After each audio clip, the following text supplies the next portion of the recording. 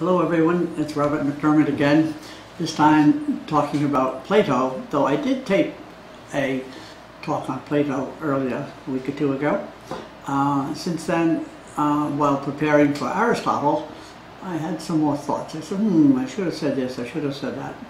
Perhaps some of the thoughts that I will say today uh, are re repetitive of what I said a week or two ago, but I just want to build up Plato a little bit in all of his uh, confident brilliance uh, on the way to Aristotle, who begins as a student of Plato, uh, not just Plato's thought, but actually of Plato himself, uh, and then slowly um, sort of uh, shrinks or lowers the upper story in a way that is uh, more sensible, more practical, more uh, accessible.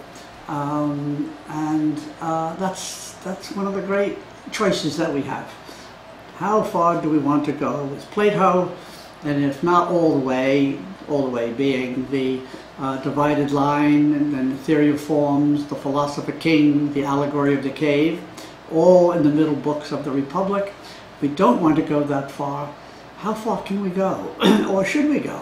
And or should we um, finish where the later Aristotle finishes with the uh, the forms and uh, the good, the um, the ultimate purpose of of life uh, is uh, not so ambitious as Plato's, not so uh, lending toward the idea of um, two levels but where the two levels are really brought together. Uh, it's not totally flat. It's not like a 20th century uh, humanist naturalist uh, for whom there's only the human, or the earth and human, uh, but nothing like the Chinese Tao or, or Plato's The Good or capital or reason as there was for the Stoics, reason and nature being some um, some law of the cosmos which uh, guides uh, human beings whether they know it or not. So we all have this uh, invitation, beginning with Socrates, uh, to enter the philosophic life, to begin to think, to think and think and keep thinking until we get uh, some idea of what we want to uh, what kind of idea, ideas, worldview, perspectives we want to guide our life and then to keep thinking and to make the revisions, either because we're going from young adulthood to middle adulthood to older adulthood, maybe to old age.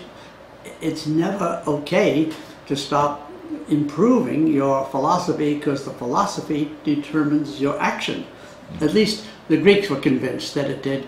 Now that we've read Freud, maybe we're not so sure about the relationship between thinking and uh, and behavior because ever since Freud, uh, we have to be conscious that our thinking might not be uh, might might not be so um, uh, what shall we say believable because we lie to ourselves and we cover up and we are unconscious of our motives.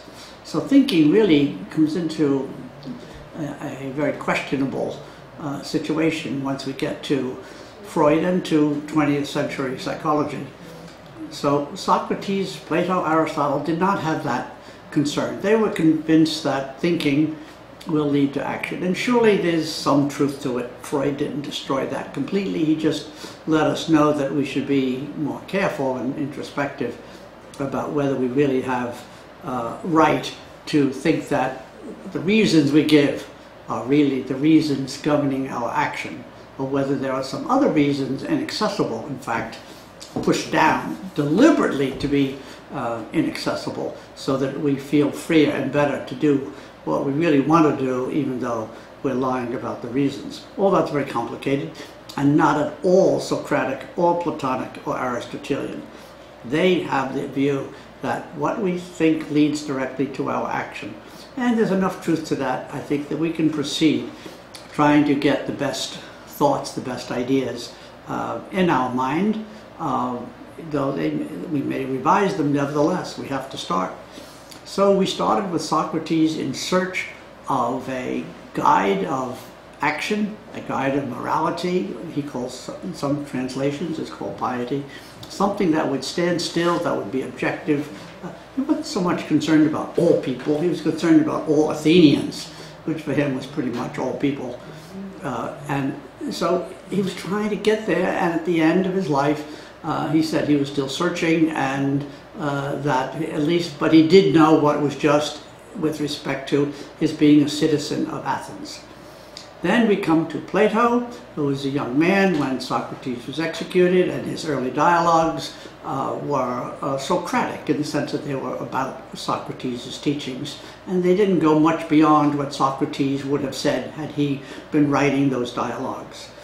But then we go to a book such as The Republic, which I take to be at the, at the center, the, the peak really of, of Plato's uh, confident philosophizing, and there Plato answers the question, what is the good, or what is the objective end of human life, what is the ground, the foundation of virtue.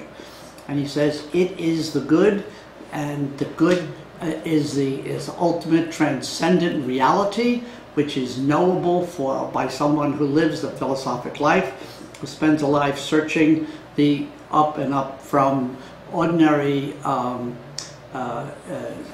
fleeting uh, perceptions and fleeting thoughts to enduring thoughts to criteria that can help organize and and um, uh, in, uh, organize and, and illumine our actions or the actions of those around us, uh, and then to abstract concepts like love, beauty, justice, and then the, the good which holds those three uh, and is the source of those three. So we build up from ordinary events, ordinary moments, to these ultimate, uh, infinite, and eternal realities. Uh, and then we see that once we get there, we trace them down into the, into the ordinary, the practical, and the fleeting. So that it's very hierarchical, and the, the, the best is at the top, and the least valuable is at the bottom.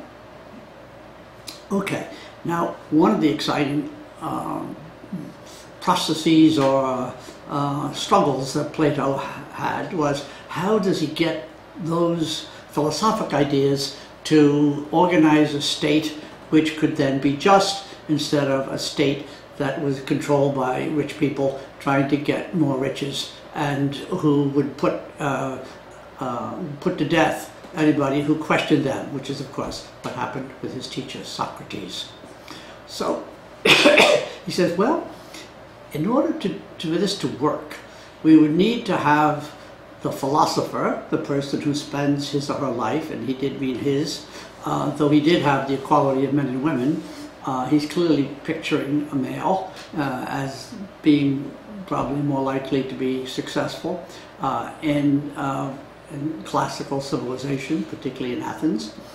Uh, so the philosopher king would be someone who had who studied his whole life, inquired, uh, entered into dialectic, the back and forth of answers, questions, answers, questions, answers, until that person would get a knowledge, would get insight concerning the ultimate structure of the world, and would have reliable knowledge about human affairs, human behavior.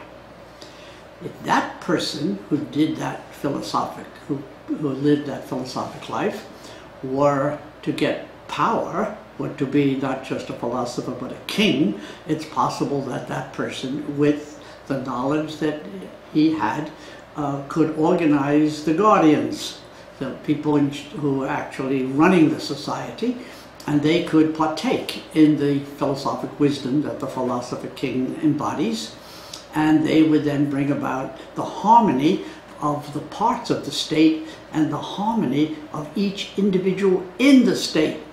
So he divides these, the state and the, and the individual into three parts, the, the philosophic, the rational, the, the thinking part, and then the, uh, the uh, more spirited part, uh, which we might call the feeling part, And then the third part is uh, the appetitive and the um, basically the life of a of a, a, laborer, a person who um, has um, very important but limited uh, aspirations. Basically, that person uh, is paying attention to work and to uh, uh, and to food and sex, and it's a completely physical life.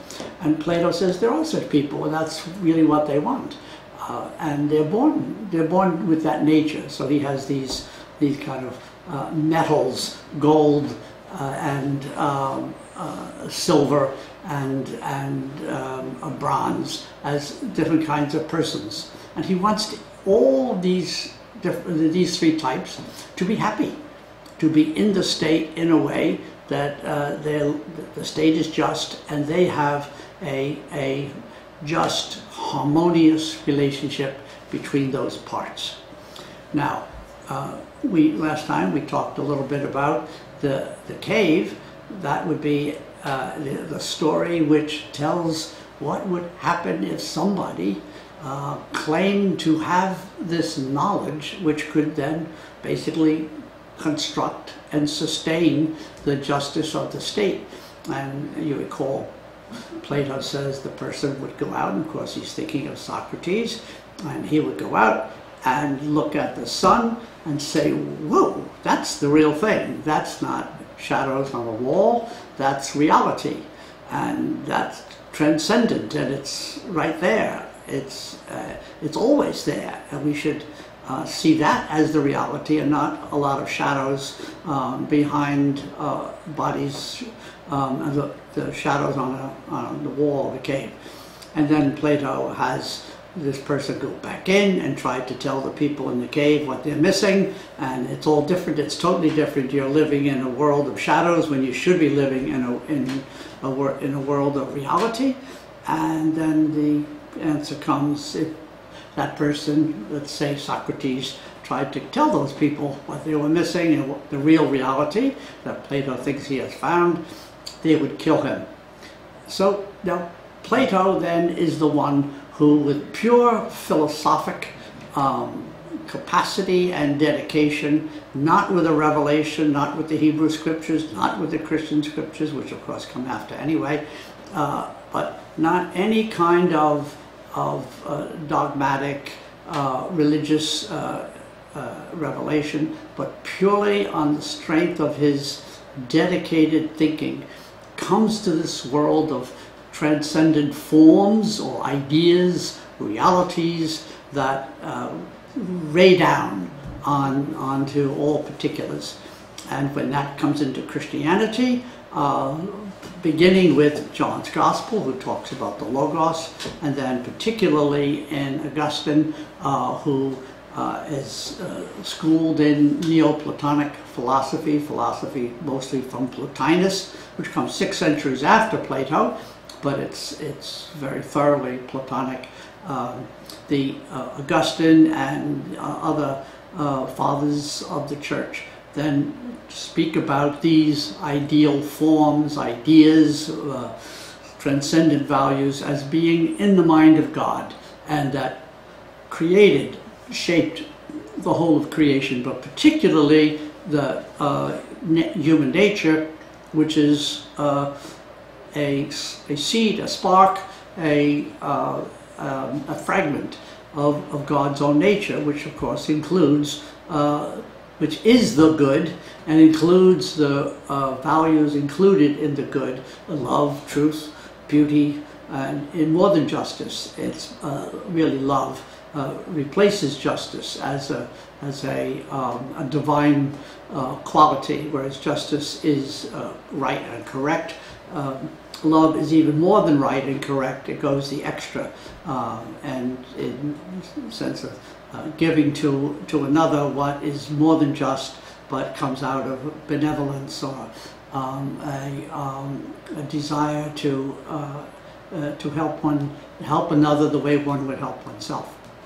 Okay, so Plato um, finishes the Republic saying it is possible to have a philosopher king who would combine knowledge and power in a way that could then structure the society uh, in, in, in sort of the uh, justice which is harmony for all of the individuals. And of course, then he would have to have control of the educational system.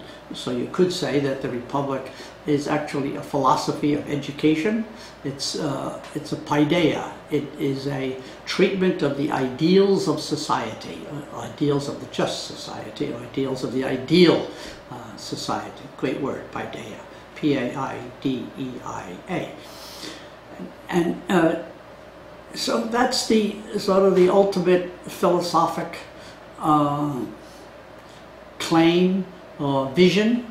And Plato, at the end of his life, uh, writes what's called the, what, yeah, guess what it is? He didn't call it, but someone else, scholars call the seventh letter. Originally, they weren't so sure it was Plato's, that it was decided that it was.